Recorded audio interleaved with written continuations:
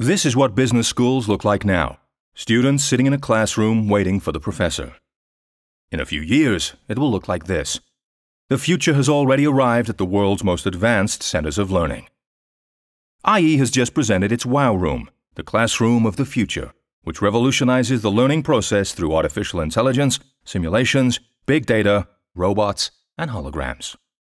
The WOW Room is the next step in the technology immersion here at IE. Over the last 15 years, we have invested more than 25 million euros in technology innovation. Students from over 150 countries will be educated using the WOW Room, immersed in technology. Through video conferences, simulations, and big data, students will learn to manage corporate crises, design production processes, or resolve diplomatic conflicts. The WOW Room software also recognizes the expressions on students' faces, gauges their level of attention, and registers their level of participation. The WOW Room has 48 screens that make up a digital tapestry covering 45 square meters, as well as cameras, robots, and holographic projectors. Just in the coming year, over a thousand students will take part in a class in the WOW Room.